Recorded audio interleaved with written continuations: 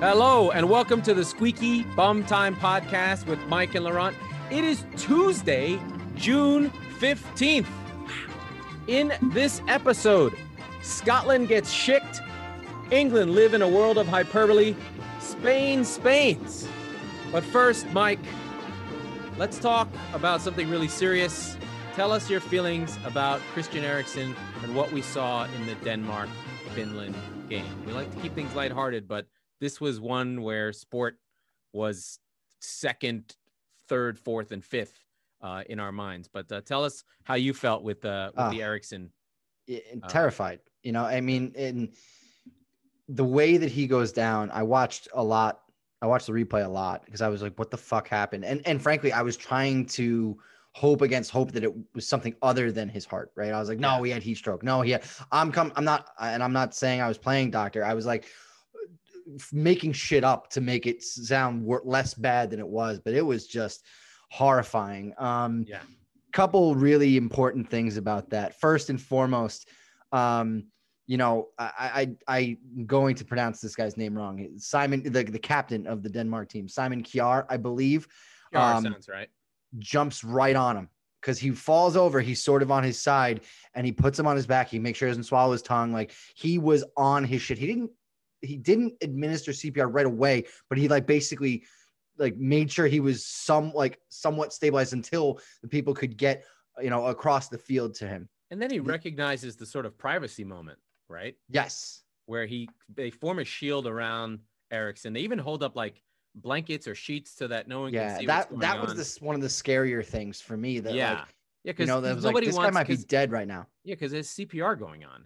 And Yeah. then between he and Kasper Schmeichel, they take care of Eriksen's girlfriend slash baby mama. Uh, they're not married, but they have kids, whatever. Uh, and they, you know, because she's like, my guy is gonna die here. Yeah, And he, was- you know, in the aftermath, the players didn't know if they just had their fucking talisman and their guy who was gonna get them through uh die on the pitch. well, I mean, that yeah. was legit. So we'll talk about the players and, and the, the decision to play on in a, in a minute here, but I want to stay in in the moment because it it was cardiac arrest. Yep. That they confirmed that earlier today or yesterday. Should. Uh, and it's just a guy. Okay. For a second, think about this. He's 29 years old. He is a professional, world class professional footballer, which means he has Olympic level fitness Yes. and he having literally no signs of anything. Now, the interesting thing, obviously, I have an intimate appreciation for Christian Eriksen. He's one of the best Spurs players to ever wear the shirt, frankly, uh, but certainly in the last, you know, 15, 20 years. Um, and there were seasons, his last year at Spurs, he played every game, every game, every tournament, every game, every, every, everything. And he was just a horse. And, you know, part of the reason he left was, you know, Pochettino sort of ran him into the ground, not, you know, not literally, but he, Yeah. he, he was just, yeah, it liter- now he literally ran himself into the ground. well, yeah, Like literally at this Yeah. point. I think the thing that to, to to take a step back with Spurs was that they would try and rest him. The team would be completely disjointed, unable to create anything. Yep. And the thing Eriksen would do, and I posted this on on our on the Squeaky Bum Time chat uh, in our group, is he wouldn't do a lot, but what he did was incredible. It was a touch, a flick around the corner, a hold for a moment, and then a release. It was these subtle things where he was on the ball for fractions of seconds and completely changed games. Yeah. Right. And he, This- uh, he that's got a lot aside from stick. his that's and that was the thing because he wasn't he wasn't a runner. He wasn't a he wasn't big and burly. He wasn't Højbjerg. He wasn't the weird thing is he- Sissoko. He, was. if you look at the stats, guy. If you look at the stats of how much he actually ran during the matches, he ran the most. He was all over the pitch, right? It was a pressing, aggressive, you know, high up front team.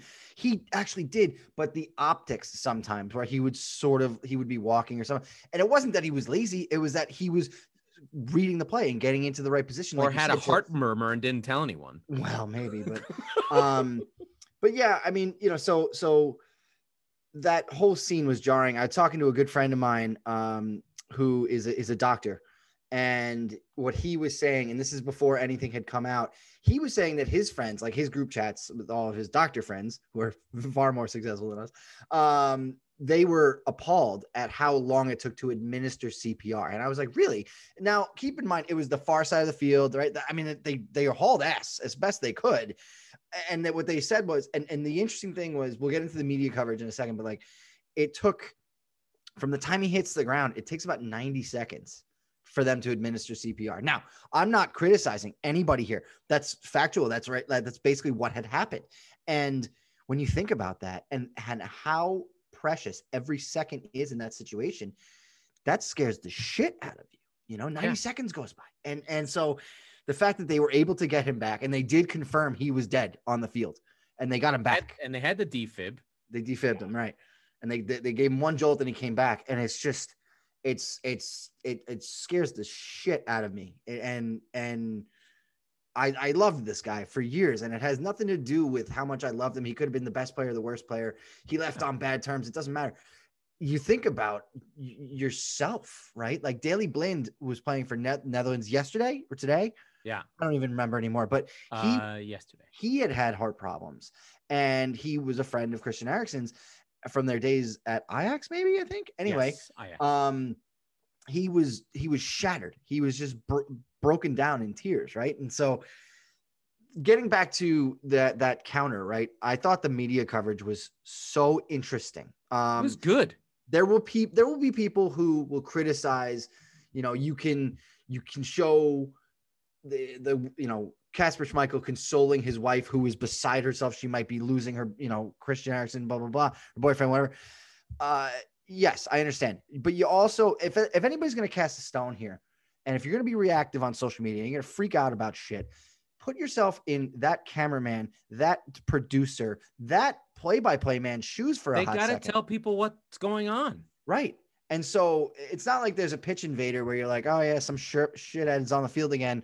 Uh, hold on, and he got tackled, and the game's back underway. That was a, a traumatic event. Thankfully, not and news more traumatic, and frankly, yeah, newsworthy. But but yeah, it's it, tricky. It just, like you don't want to show the leg break three times, right?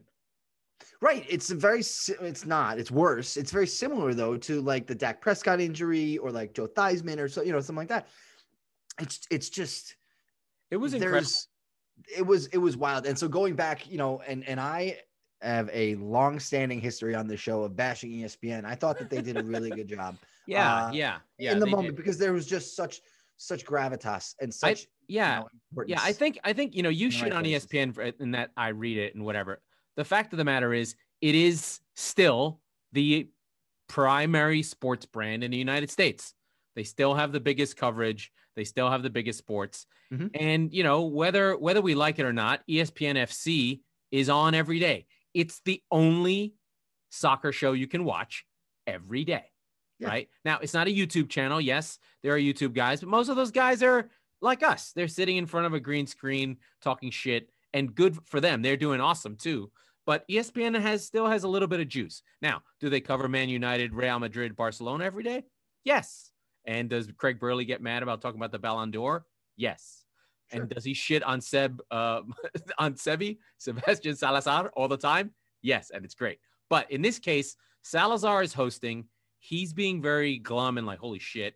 They have Christian Fuchs on, who I'd heard on Men in Blazers several years before. He's a big fan of America. He's going to play, I think, in the MLS. I'm not sure uh, soon.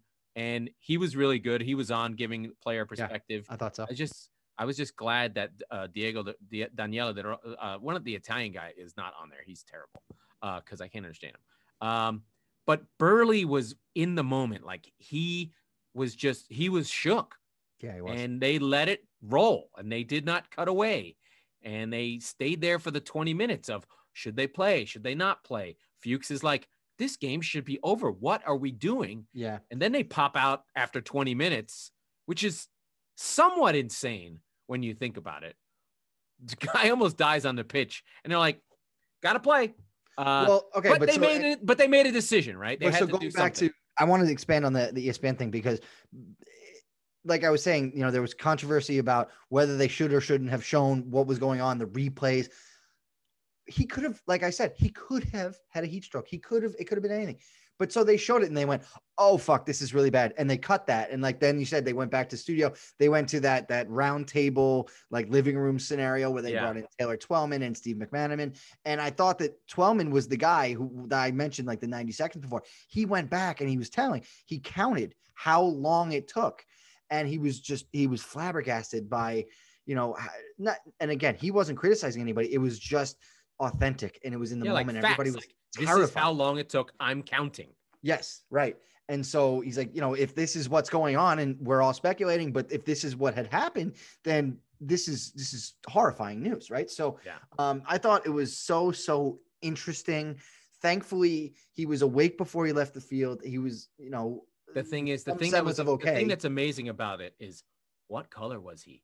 He was chalk white, as though someone who died. Right. Yeah. The pictures of him, he looks like Yeah. the blood came out of him because it did. Right. Mm, He looked yeah, really, really bad. And it's making me sick thinking about yeah. it, really. The weird thing is, is you know, ultimately, you know, K- Kajar and, and the rest of the team, they were basically put an ultimatum in the locker room and told you can play today, play tomorrow, or take a three nil forfeit. yeah. And that was what they gave him. The PR from UEFA was bad, saying that the players chose to play uh, enthusiastically, basically. Well, for and now again, whatever it's PR spin or where from what I understand, Eriksen spoke to the team at the hospital because he was awake when he left the field right on FaceTime. on That's- FaceTime. I heard that same story. And I listen, take it for what it is. Um, They played. there is no correct answer, most importantly. Yeah. Okay. They could have played today, uh, that game, that day. They could have played the next day. Are they going to be any less shook that their teammate almost died? I don't, I don't know. know. You know, like does a does a, a night to sleep on it make it anything better? I think we're speculating and sort of splitting hairs. It was a traumatic event, and it's going to continue to be a traumatic event. Yeah. I I think about it and I and I get sick a little bit. Yeah. So they play the game. Uh, the game actually was just before halftime when this had happened. So right. They, they go into the break. two minutes, they go into the like a five minute break, Yeah. and then they come back out. Um, and you can first of all, Denmark is a team that is run completely through Christian Eriksen. That is his team. So it is. he's it he's is- the it is- Bale. He's the Bale equivalent. Although uh, Denmark's probably better than Wales, but still, Oh, I was gonna go the other way. I don't think they have the supporting cast that Wales does, but nonetheless, uh, if you take that player off the field, they're going to be worse, significantly worse. Now, if- significantly. but if you take them off the field in the traumatic fashion by which they it had happened, I don't know how anybody expected Denmark to get a result out of that game. And so Finland, who is playing in their first European championship ever, correct? Correct. Uh, they get a goal. Uh, it was a, ni- it was a Because nice- Schmeichel's just makes a mistake. It's a nice goal, but yeah, Schmeichel makes a. It, I hate to. It They hit him in the hand. It's a reactive. mistakes. Yeah, he fucked up somehow. Yeah, he didn't. He didn't make as clean of a save as he would have liked, and it squeaks through him, and it's one 0 Finland. Finland. He normally makes that save though. I would agree. Um, and I don't. Again, you don't put yourself in these players' shoes. Like you can't. But like, I don't. I don't buy that in that moment he messed up. uh, No, it the- makes for better save. narrative. Like, oh, he was thinking of Eriksen and fucked Yeah, up. yeah. No, he. I mean, wasn't. he wasn't thinking about 150% on football, but you know, whatever. So, Right. Whatever. and and the well, and the difference is that uh they kind of get thrown a lifeline, right? There was a horrible, horrible penalty call in the late later in this game, Yeah. and P, our boy Højbjerg steps Oh. up and he has a really, really poor penalty. Yeah, uh, and it's stopped by Finland and they lock it down and they escape one nil. So um it's it's extremely unfortunate that it was a historic win and goal for Finland and it just sucks that it's in the context of everything else. Completely a footnote, but it, yeah, the it- game doesn't matter, but it matters because they got to keep playing. Right, right. And so, you know, I think about just wrapping up the Eriksen stuff. Like, I, it, it- his career could be over. In fact, Oh, it's over. you- His you career's could over. argue it should be over. And no, because no team, no team would it would hire him because if he dies, you'd have to do it without any insurance. You'd be like, no, I'm not insuring him. There's no, no- I know, I, I know. They have And- to and- clear him like quadruple cleared, cleared, cleared. Right. Um, but let's let's after that sort of deep note, let's sort of go through the games, right? Because we our show came on the day of the first game. First game was Italy versus Turkey. Can I just say, uh, Mancini, the whole Italian staff in the fucking gray suits, they looked incredible. Like just Italians, just stop with the fucking suits. They look so good. And he looks like a movie star and he's tanned. And American coaches look like fat guys who got off a golf cart and, and, and are trying to wear less suits. And the Italians like, no, no, no, we're going more suits. So Yeah. they looked incredible. Italy was really good. Turkey was disappointing. We we thought they'd be a little bit better, but again, these teams that play defensive, they just again, I just think Turkey doesn't believe they're in this class, even if they might be better, right? I mean, had- look, Italy walked into this tournament as one of the aggressive favorites, Yeah. and they showed up in the first game. Yeah, but scoring three goals, they haven't scored three goals in like four no. years. Well, okay, hold on, but eh, they scored three goals, but two of them were late on, right? So it was Oh, kind sorry. of like Sorry, that's not true. Italy scored a lot of goals, but they had 11 against the Faroe Islands and nine against the Maldives. no, I know, And but th- what I'm saying is that like doesn't count. they got they got a they got an own goal, a, a- good bounce, and so then the game opened up, right? Right, so but they, were got an own goal on a goal that's a goal, right? No, It- I- it's I'm- his own goals and then his own goals, right? Sure, but what I'm Yeah, saying yeah, is yeah. the game opened up after that. Uh, Immobile and Insigne, they they added it on, but I don't think Turkey was ever really up for it, right? They Then They you, were- th- 36 percent possession, so I'm and we, not we really- we we switch on to Switzerland. Switzerland always pretty good, but never good enough. But this is they're better than Wales, and the XG showed it. They they were ahead in this game, uh, but they couldn't pull it out. Uh, Wales with the late draw on an incredible set piece play, three touches into the striker Kieffer, who's plying his trade in the championships for Cardiff. okay. He's- So had his first thoughts. 20 goal season with the freaking band- bandage on and Finland and Wales like they do they squeak one out in Baku So this was the first of several incredibly entertaining games, and it sucks that we had we obviously had to lead with the Eriksen stuff because Yeah. it's the biggest story. But this tournament has been super fun. There's been Yeah. at least one game a day where it's and there's been clunkers, and we'll talk about that too. But there's been at least one game a day where the, and this was the first one where you're like, this is awesome. This guy, I mean, I'm Kieffer Moore, and this is my introduction to him, of course. But I mean, he is seven feet tall, and and Yeah, watching Bale dude. interact with him gave me vibes of him and Peter Crouch, right? Yeah, Like, yeah. um, it was awesome, and I I just all I kept thinking was why. Uh, uh, when I saw him, I thought Olivier Giroud, and I Mm. went, why doesn't a Premier League team have him on their side as a super sub? Come in 65 minutes. He's a horse, and he just out muscles and uh, throw the ball in the air. Reminds me of, of a- well the, the the reason for that is is that teams figure it out. It it is for uh the in between the sort of change of pace. The interesting thing about Kieffer Moore is first of all he's not from soccer player country. He's from Torquay which is basically like beach resort town. How he gets found I don't know. He plays he plays for his local team in Yeovil, which you probably don't know this, but Torquay and Yeovil about one town over from each other, which is odd. And he works his way up. He plays plays in the National League. This guy has come from literally nowhere. Yeah. Like in the National League, which is the lowest, which is the fifth level of England, then goes to Ipswich uh, on loan, doesn't really do much. Rotherham has a big season. Barnsley, we know that's the Billy Beane team. They probably found him and we're like, you're big, you're not bad. So that's one of those analytics things, finding uh, that he plays for Wigan in a team that had a 10 point deduction. They go down, but he helps them. Actually, they it was unfortunate that Wigan went down on a deduction. And then this year with Cardiff, he scored 20 goals, playing three over three and a half thousand minutes in the championship. That means that dude has been playing every day, twice a week. yeah, for 18 months. Right. And he's six five, but he has a very strange middle name. I'm very excited. Why is he Kieffer Roberto Francisco Moore? Find out. We'll we'll, we'll come We'll up on that, that next up. episode. Yeah.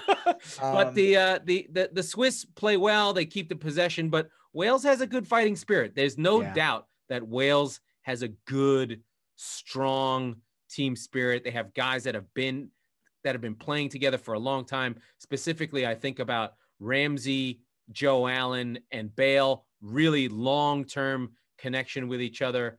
Uh, ben Davies as well. These are guys that have been the core of this team now for their whole kind of like run making the Euros four years ago, now five years ago, having that semifinal run.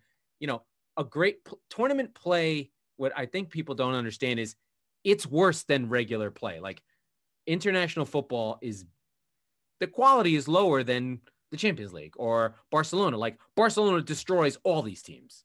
Well, yeah, Combine. you, You get can to combine the teams team. together, right? You Yeah. to- yeah, Yeah. you get to build your So- team at Barcelona. so you get what you get. Right. These teams live off of long-term muscle memory of a guy who's played with a guy that he sees once every four months and and for tournaments, especially smaller countries where they have smaller uh, selection pools. The guys who play for Wales will play for Wales as a unit for 10 years, right?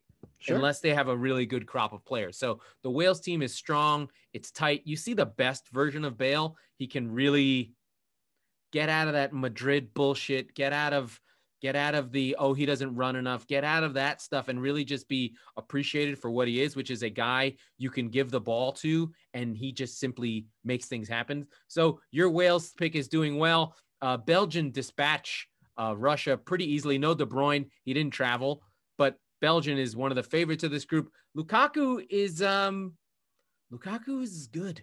He's is- hitting his peak form, and I thought he's really really good. so. They they you know they put one on Russia three nothing, but Russia gave the game away, right? So in the what tenth or so minute, Yeah, a they couple gave, big they- mistakes. they couple big mistakes, but they gave Lukaku a goal, which by the way, and getting back to Christian Eriksen, he, you know, he did uh, a tribute, ran over to the camera, said, I love you, buddy. Class. Um, the other, there's so many other elements to this.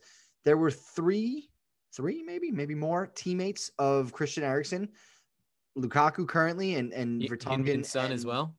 Well, I meant in this In game. your- okay, yeah, yeah. Vertonghen and Alderweireld, who they're very, very close, right? Yeah. Vertonghen and Alderweireld played with him again at Ajax for Mhm. years, Mhm. and so you know, it's I couldn't, I couldn't imagine. Yeah, it's just intense know? relationships that these guys have that we yeah, especially this last COVID season where guys literally didn't see their families and just saw each other. right. They, yeah, Uh, and then we have to sort of go into England, England, England, England. Uh, England win 1 0 on a Raheem Sterling goal. They really come out hard in the first 10 minutes. Uh, Phil Foden nearly scores an incredible phenomenal. goal. Uh, Foden, sorry, Raheem Sterling, who's literally f- from three blocks from the stadium, and he said, I'm at Wembley, I'm fucking scoring. Uh, he played great. The big change here was uh, more the the Kalvin Phillips play. it was you- Kalvin Phillips. Thank you. I was you waiting for it. If you didn't watch Leeds, which most of you didn't, uh, even though I told you to watch Leeds every goddamn week, he is their holding midfielder. Plays, if you're familiar with pre last season with City 17, 18, 19, he plays that role, the Right. Fernandinho role, where he's just in front of a four and they play a 4 1 4 1.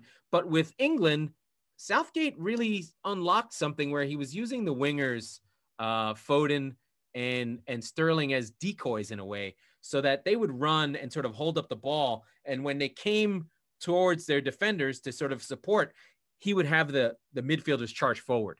So it was very deceptive uh, to support Kane. This really flexible uh, 4-2-3 4-2-3-1 with Kane up top, but it was really good. And Trippier is really good now, having played in Spain and played with Simeone. He got a different education, right? He started at City, had that sort of early City academy education, then Dyche, which is like a different version Yeah. then then Pochettino, which is another version like a Bielsismo, and then Cholismo at, at Madrid. So this is an English player who's getting a really diverse education in football, and it, and it helps England um, because you know Trippier and and Walker actually played narrow and played. England was diverse, and I don't think Croatia Croatia's not there anymore, right? The Kovacic, Modric, Brozovic, know, they just, I forgot didn't have how the gear.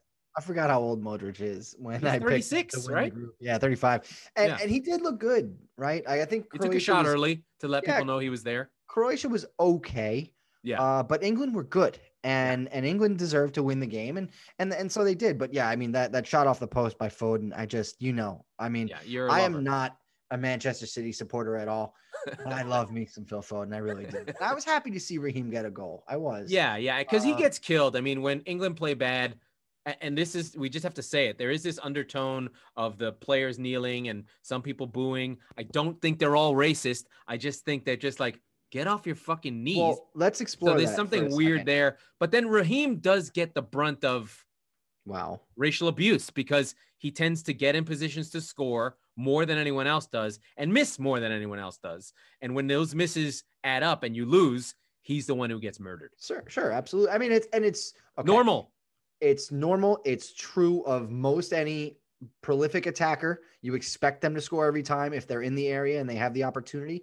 Um, but it does seem to focus a little bit more on Raheem for a particular reason that I yeah, can't put my yeah. I mean, and he on. did a really good job, and he got he got um knighted for his uh sort of work in the racism world Yep. and like raising awareness because he started showing articles from the Sun of like this is what a young black player for England headlines are, and this is what a young and he had like five different instances of like them talking about who buys a flash car for his mom, and the other one goes. Look at poor old Mason Mount buying a car for his mom who worked so hard. They Yeah. just do it over and over again. Yeah, and you're just yeah. like, hey, my G's, uh, you're not helping. right, right.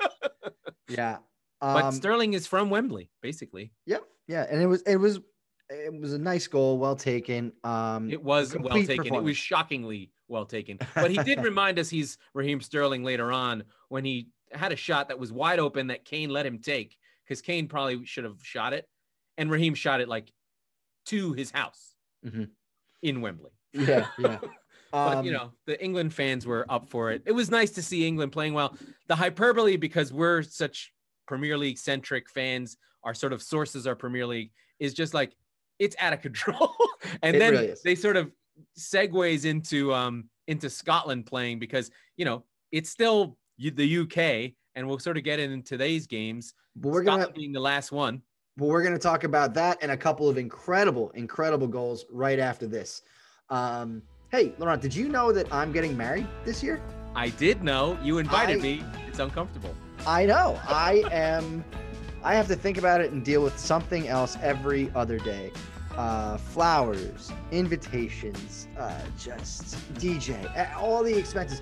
It's an incredibly do ridiculous. clean industry. underwear No, I don't even bother anymore. Um, but so uh, there's just all of these bills, and it's can be overwhelming. Um, but you know, our friend uh, Joe at Attitude of Gratitude Consulting has Oh, the guy who helps me with my family problems. Yes, about exactly, the same Joe. saving, saving, same uh, Joe. saving, saving me. Oh yeah, I- I, I hit him up. You know, I've been talking about trying to figure out. You know, you you put it last week about putting you know finding money in the couch cushion sort of thing, but it was effectively trying to make sure that you know we don't overextend ourselves, right? We want a, a lovely affair, but at the same time we got to do what's right uh, and do this the simple and smart thing in some cases as well. So um, it's been great talking to him and having him kind of talk me off of a ledge or two or four thousand and. uh you know he's he's been un- unbelievable. Uh, I can't recommend him highly enough. Uh, Attitude of Gr- Gratitude Consulting is the name of the company. www.attitudeofgratitudeconsulting.com. Uh, please visit it. Uh, give our friend Joe all of your attention if you have any different concerns, whether it be children, wedding, any type of financial concerns you have. Uh, he's your guy. Uh, he's been great for all of the Chop Net Sports Network, uh, you know, different podcast hosts and all that stuff. We can both vouch for him personally. Give him a shout. Attitude of Gratitude Consulting.com. yeah. And uh, as you know, I've been talking. You know, if I'm going to your wedding, I've got to be ready. And the the gang at Sunflower Meadow Seasoning has been providing me with all their amazing seasonings to help me get through my um, my keto diet. Uh, they've found the right ones that mix to me. What they are, Sunflower Meadows is really like a a really cool supplier of different seasonings. You put they send you these amazing packets and give you the recipes to put things together from beer nuts to dry rubs to whatever slushies, dessert mixes, anything you want and in a cool way to spice up your meals so that they're a little bit different. Sometimes, you know, when you're in the middle of these kinds of diets or fads or whatever, you just dying for something to connect with you. And at Sunflower Meadow Seasonings, they will provide those things for you. And uh, I recommend you go to the site at sunflowermeadowseasonings.com. They have wonderful, a wonderful, wonderful, wonderful mascot that's all over the site. Tell them I sent you. Go check it out. It's the cutest thing you'll ever see. I'm not going to give it away, but it rhymes with, uh, no, I'm not even to give it away. It doesn't rhyme with anything. But yeah, check out Sunflower Meadow Seasonings. They're out in New Jersey. They're helping us out a lot and down in Woodbridge. And we're looking forward to getting more stuff from them. Back to the games. Yeah. And so uh, I want to we're, we're I want to break the cycle a little bit. We were going through the games and all that stuff. They're already have been two and almost three. We'll talk about the third one later in the show. Well, we talked about Foden's was pretty badass. Well, okay, so almost four then, but two ridiculous, ridiculous goals. Uh, which one do you want to start with? I want to start with Schick because Yeah, I know. Yeah. Uh, Schick is a player for um, uh, in the Scotland Czech Republic game. Schick and Scotland is at home. This is a big deal. This is Scotland's first tournament since 1998. They're at home in Hampden Park, the home of Rangers, uh, and they're playing well. Schick plays in Germany. He's this. He's their talismanic. He's young. He's pretty handsome. Actually, he's very handsome. Jesus, He's I very handsome. I just looked at his picture, and he picks up a ball and a little bit of a turnover in Well, the. he had already scored. Yeah, he had already scored, but this second goal is just he's what? 25. He's maybe Oh, 10 yards from the halfway line. I and think the measurement I saw was 48 yards away. Yeah, and he just drops it right into the goal. These are they don't seem that incredible until you think about how often they happen, and they basically never happen. Yeah, it's like And it's so- on average like once every year and a half. I'd say. yeah, every Probably two years. The, than that, last yeah. one was Rooney, I guess, was one of the last ones. Kane did it in the preseason against Juve. That's the last time I remember it. But Yeah. Yeah, Ro- it- Rooney did it at Everton uh, Yes. against, I think, Crystal Palace. So, you know, the you get the, the goalkeeper running around going, oh, God, oh, no. Right, and he drops it over his head. But what's what's your goal? What were you on about? yeah. Um, I mentioned when we were going through the Ukraine, um, Our before before the game uh, before the game started on our last show, uh, our Andre Yarmolenko, and I think of him because at in his days at Dortmund, he uh had terrorized Spurs and he scored a very similar goal to what he did the other day. And uh, it's one of those where he play, he's a left-footed winger, comes off the right, and he just stroked something past Lloris. It was one of those where like we scored an early goal at Wembley, and we're like, all right, we got these motherfuckers, and like bang, right back. And I was like, ooh, and I never forgot this guy's name because of that. I didn't know who he was before the game, but Well, Un- the, the thing the thing with Yarmolenko is one, he's glass. He gets hurt all the time. yes, Two- and that's what I said on the last show. Gigantic and built like a center forward, but Mhm. he is a tricky winger. Like he plays more like Riyad Mahrez than uh, you know, who's a good one? Chris Wood. He looks like Chris Wood, but plays Yeah. like Riyad Mahrez. Yeah, So yeah. he he's kind of got the quality of uh of Arjen Robben in that he has one move, and that one move is a nuclear reactor left foot that he fires all the time, no matter what.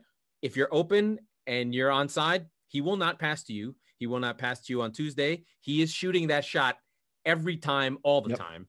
Uh, he's currently on West Ham, and he's a breaking case of emergency player for, Yeah. for David for David Moyes, who's just like, you know, you could do some running. You could probably close some guys down. He pro- David Moyes uh, of of of uh, of West Ham fame probably sees him and goes, "You're a big fucking unit of a lad. Go fuck someone up. What Yeah. are you doing?" And he's like, "Nope, I'm just gonna do this thing that I do."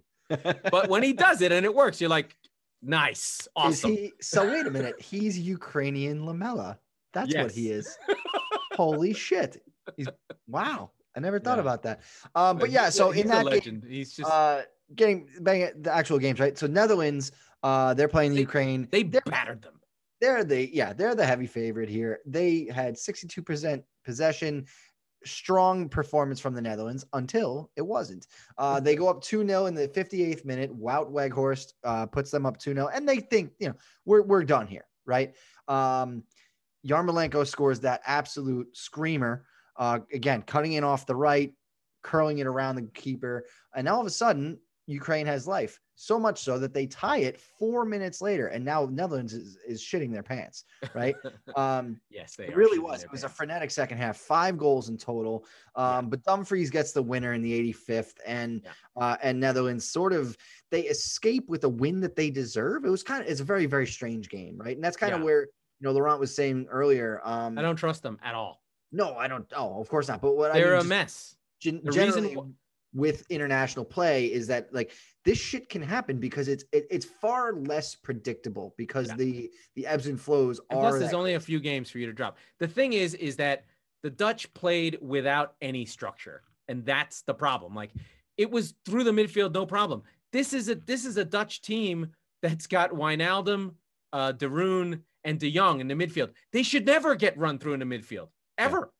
And they were just like, oh, okay, let's just let's fuck, let's play like it's in the park. Let's fuck around. Oh, there's a guy named Zubov. Oh no, Zubkov. I just I had I Oh, have that memories of, of reference? Zubov. Brian Leetch's partner on the power play. Very right. important cog to the old uh, New York Rangers Stanley Cup winning. Absolutely. The greatest was- sports moment of my life. yesterday technically 27 years ago i don't want to talk about it yeah, don't talk about it. You didn't see. um Uh, i was six my I dad was not six. Yeah, i know i know Uh, so so the Dutch get through. I don't trust them. People, there's a weird thing with the Dutch. Everyone wants to love them and doesn't really think about the fact that the country has 15 million people and hasn't actually been good for a while. But they live. It lives on on total football. It, it really is a testament to style over anything else. And the Dutch have been married to a style even when they don't have the players to play it. Their weakness right now is they don't have someone to score goals. Although Weghorst has scored like 100 goals in the in the in the Bundesliga. He's worth looking into as a player, but you know how those Bund- those those Dutch strikers are, you know, can't Pontus Jan- Jan- where's Janssen? Is he somewhere in Vinny Mexico? Janssen? Yeah. he's in mexico yeah, that basically means if for a European, if you're in Mexico, you're basically dead. Yeah you're on a Yeah. beach Yeah, which you're listen, hanging out. you're getting paid to play football and you're But- very grateful to be doing it To be fair, the Netherlands Ukraine game was probably the best game. It was the most fun game. Uh, let's get to a less fun game. Spain nil, Sweden nil. Ugh. See, What no, did I, I. I thought it was an interesting game i just it's a Spain. Spain, Come on. Spain, Spain. It's Morata. It's this possession, possession, this. possession. They just don't have a finisher. They still have all the class. They have Koke and Pedri and uh, Dani Olmo, and they have all the players, names that you know, uh, even Aymeric Laporte and, and, and Marcos Llorente. All these guys are champions. These are the champions of Atletico. Half the team is made up of players from Atletico. They still can't finish. It's just shocking. I would think that I would not touch Morata. I don't think he's going to No. be their guy. I just don't trust him at all. Even if he, I know what we always say with great strikers who don't finish. We had this with Werner, who actually did help the goal in the Champions League. Is they do all the other stuff, and I'm like, yeah, but I can. Can he just score? I don't care about the, the other stuff. opportunities that that Morata gets. It's comical at this point, you know. And uh, watching Spain, I didn't see a, uh, a lot of the first half, but I did catch the highlights, and then I sat down for the second half. Jordi Alba was like playing four positions. Yeah, he's always playing four positions. Yeah, I know, but like if you've got this much talent on the field, I just I understand he's making runs forward, but the only it was like the the guy in FIFA who has one move. He kicks it out left to to Alba and he crosses it in to try and basically play a pinball and have it fa- Yeah. fall to somebody's feet. now to be there was be, no structure whatsoever in the midfield. not to be fair, the Swedes, this is what they do. Oh, And absolutely. Man of the match was Victor Lindelof. Just they just kept everything out. The Spanish are small and the Swedes are not, and they will batter you and eventually get the goal. Uh, I know I didn't watch all the full highlights, but you said that my guy Isak had a shot that So- almost scored. So this is the third of the three goals that I thought were almost goals. Um, he finds himself on the edge of the area with three Spanish defenders kind of closing in on him, and he does this kind of like pirouette, like head fake, yeah. and he loses all three of them, Oh, and he crosses it across the the six yard box to I think Berg or uh Lars. I'm not actually sure who ha- who uh, a generic. Swedish looking white guy. Okay, Well, they and all he- look amazing in their pictures. Oh my god. and god. he duffs it from six yards, and he just doesn't even. There, I thought watching it live, I was like, "Oh, the defender got a touch on it." Nope, nope. The guy He just, the guy just and this is it. like 70th minute. This is three points on the line for Sweden here. So I'm looking at this. I mean, Spain had an aggressive, insane amount of possession, something like Yeah, but it doesn't matter. 80 no 86% possession Yeah. that that and they still sh- uh, for, in, for my money sweden should have came away the winner here it was uh Yeah, but I I I, call, I. I called out uh, Alexander Isak. He's playing in Spain. did. He could be the difference maker. Granted, that would have been Zlatan's spot. Zlatan probably would have found a way or been yelling at his teammates. But you know, the the nice thing about the European Championships is there's a lot of parity within the group. I wouldn't say because we do have one strong team in France, but they're the French and they're already fighting and they generally implode once every third cycle it's true right right Sure. so in 2002 2002 they imploded and then in 20 after winning in 98 right and then in 2010 they completely imploded where the Mhm. team where the players went on revolt against the coach Yep. and guys left uh, so but they're back up again they have the best structure to create teams and then germany's down right now basically because they didn't have the guts to fire their coach which is what they should have done. yeah they needed a, a new voice. And I think where they are right now is they've still a lot of guys from the World Cup in Brazil on the team. He hasn't been able to do what, frankly, is the most difficult thing to do in sports, which is take your Mullers and take your Hummels and say, you're done. Yeah. But you can only do that is if you play better than you did without them. The problem is they're playing worse. So he had to bring them back in. Muller's had two incredible seasons with like 25 assists. Uh, It helps to have Lewandowski be the person converting them. But, you know, Muller has never been a classy footballer. He kind of is in places and does a weird touch and his his he's had a bad haircut his whole life and clothes look weird on him. He's basically having Shaggy as your leading player for for Ger- for Germany. He's like, Zoinks, let's score to goal. Because that's he's kind of a hillbilly that- German. that's that meme too where it's like like the like he tells like a dad joke and he's like well Yeah, Uh, yeah. Because that's kind he's kind of a dork. Yeah right? He's not cool. He's not Cristiano at all. He's like No. literally the opposite of Cristiano. he is the anti-cristiano but he's a world class, all time great international player and one of Germany's greatest. And they had to bring him back in. And so Germany's a little bit shaky. Spain, we know, is possession, possession, beautiful, beautiful, beautiful, beautiful, no finishing. I think, Mhm. you know, David Villa would probably still be better than fucking Morata, uh, wherever he is. I think he's in Queens, which is a purgatory in and of itself. soldado bring soldado back Um, sure, why not? Any of those guys. But uh, yeah, and and so it's kind of wide open when you think about your S- Sweden, Denmark, England's a little bit better, but not that much better. No no pedigree of doing great. Sweden, Denmark, uh, you know, Spain's down. Italy is okay, but been poor lately. This could be anyone's tournament. Anybody Yeah. gets hot, a goal scorer comes up, and what I'm trying to drive at is Isak, a one goal, one player getting hot. You can win.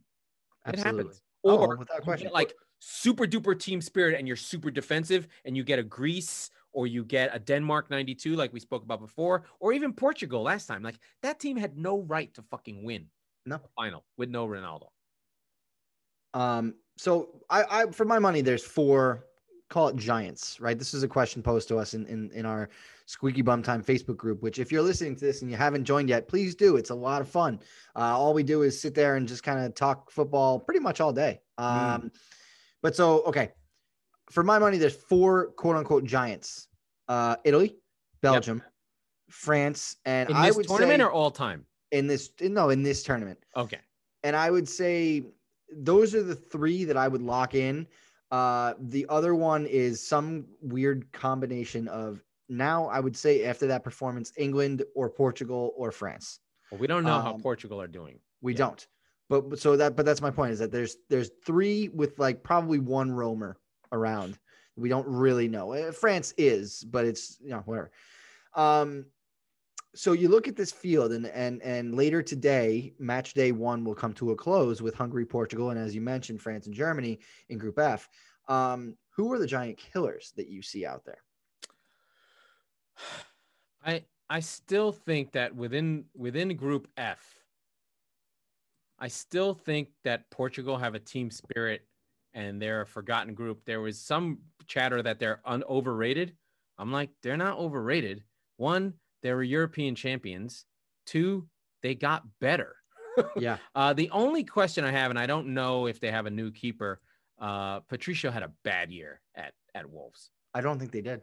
and uh, and if and if if he's if he's in goal, that worries me. There is a little bit of long in the tooth in the midfield. You have to see if Neves can still do it. How they fit in all the attacking talent and still play Ronaldo is a problem. But I love Dias and I love Fonte, two defensive warriors who give zero fucks and will take you out and they will prevent goals from happening. And then, you know, this team spirit is still pretty strong. So that means that between Germany, France, and Portugal, th- there's going to be a team that's disappointed. And I think that the weakest of them is Germany because they have, yes, they're Germany, but their team spirit is pretty poor. And are they going to play Werner up top? Are they going to play uh, Mueller up top? I don't know. They We're usually gonna- find a way, but they're not a good defense. And I think Löw is in bad shape. Uh, I do like, from a giant killing perspective, Sweden were good in the last World Cup. I, I'll, I'll just put a flag on Sweden just Okay, because, I like that. just for fun. Uh, you know, mine was uh, we on our preview show. Uh, it's the Thomas Souček love. I, I've got the Czechs as, as upsetting some apple carts here. Um, They're in a weak group. They can absolutely, you know, take down Croatia. you no problem. and no, and that's the things that uh, if you go back just four or five days, I had Croatia winning the group, and I now know the error of my ways. But I did say the Czechs would come in second in this group, so Mm. um, I'm I'm big on them, and similar. Okay, I know it's only three games or whatever, but it, it there are parallels to a longer Premier League season, right? Where it's like win the games you're supposed to win, and you'll be fine. you really need a win and a draw, and you're through. Right. And they've got they've got it essentially. They've got a 2-0 win over Scotland. So they've got the buffer on goal difference. Yeah. I mean, frankly, right now they're top of the group, technically on goal difference. And they're yet to play Croatia and England, their two hardest games. But if you look at that, you go, okay, if they get one point from those two games, then they're most likely at worst going to be one of the third place teams that makes Yeah, it through. yeah. And w- one nice thing, uh, shout out our friends, uh, Sean Forman and the Sports Reference Group that I always shout out, and you know we'd love to love to connect with them. But they've already got in the Euro page for uh, at FBref, they've already got the best third place team rankings already. So Aha. Wales right now are there without Hungary having played because they have a draw and a goal. Right. and yeah. Sweden have a draw and no goal. Oh So God, I counts. just remembered that the tiebreakers are going to be total goals for third place teams, isn't it? Something It's gonna be goal difference and then total goals. Ooh, Yeah. Yeah. Buckle up, friends. It's gonna Right. be so silly. Yeah, it's Uh, going to be super close. That somebody who's fourth, fifth, it's going to be like I need to run up the score. I need to score two, Yeah. uh, whatever. Uh, we do have to give a shout out to Chari, our friend, uh, who pointed out his boys from Austria, Marko Arnautovic, yelling uh, slurs to the North Macedonians in his in his native tongue of Serbia. Uh, loved it. Loved. Always loved Arnautovic. He's a maverick. He's a weirdo. He's probably racist. I don't care. Uh, he, was a- fun. He was fun at West Ham. Uh, he's He the kind of guy fun. you you you like. You know, it would be a fun season if Arnautovic was on Spurs, and he's the, in- instead of instead of Lamela coming on, it's Arnautovic. You don't know if he's Oh going to get a yellow, and you just get him. Or if he's gonna shiv somebody. Yeah. Um he's I love the guy. I've always loved him. whether you like him, the thing is, is that about Arnautovic, he is a character that you watch, right? The Yeah. we we shouted out Men in Blazers last show. I'll do it again. Their their big joke of the running season is the Premier League script writers, right? Because yeah, it's yeah. this this dramedy unfolding in front of you over 38 matches, um, and and six seven months or whatever.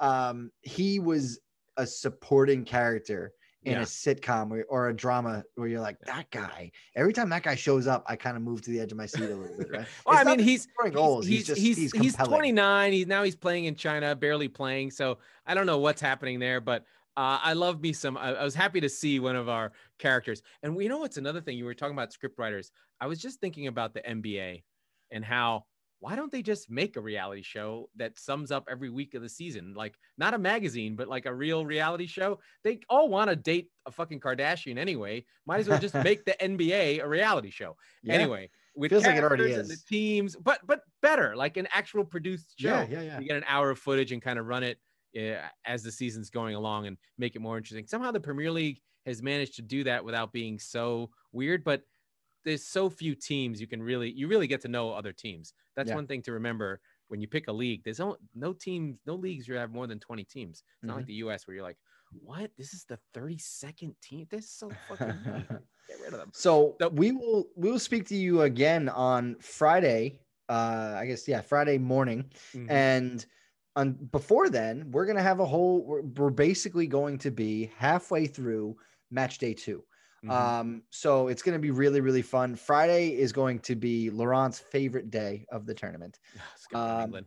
We are going to have Scotland England at Wembley, 3 p.m. Eastern. That's gonna watch be it watch it because it should although the sad thing is is that england is going to do another 30 days of lockdown so it wasn't going to be full capacity otherwise Yeah. it would have been full england Oh, uh, it- loony. they're They would- the they were going to do so they don't- full they're not going to do lockdown they're just no, no, no. not They're not, it has nothing to do with COVID.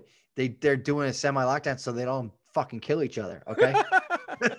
uh, but we'll talk a lot more about that Yeah. on on next episode. Um, Turkey and Wales is a really really pivotal game. Uh, it's Turkey effectively it's uh it's a it's a knockout game for Turkey now. If you Yeah. go down three 0 in the first game, you need a result, and you can get one with against Wales. Don't get me wrong. Um, Italy Switzerland's going to be a fun one. Um, yeah, I I- I think that there's a few games. Uh, we mentioned Austria. We didn't talk a lot about them. They're going to have their their first really big test against. well that's arnautovic he'll come through no, no, that's what I mean. Like they're they're taking on the Netherlands, so there's a lot here. Um, so much fun so yeah, we've got six more games, eight more games between now and when we talk to you next. Um, the thing I'll leave you all with is get involved with it. Like the, the North Macedonia game was interesting.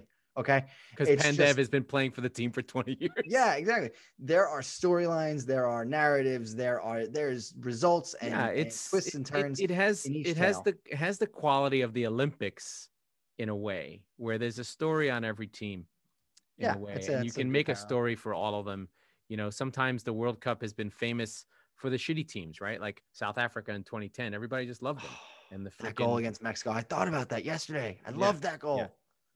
Uh, let me just uh, let's let's just wrap it up.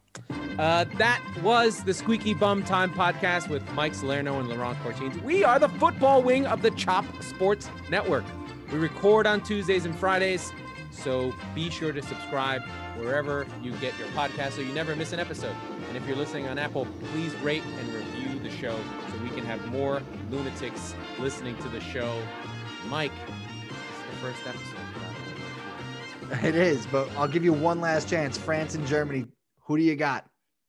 I've got the Maginot line being overrun uh, by, the, is. by the Panzers. Uh, hopefully, no, France is going to annihilate Germany this time. This There time counts. It's going to be Verdun all over again. Uh,